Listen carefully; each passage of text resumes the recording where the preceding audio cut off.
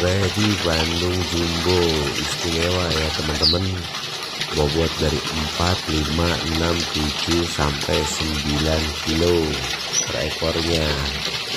Diborong aja. Nggak mau eceran nggak bisa eceran. Bandung istimewa pokoknya. Monggo.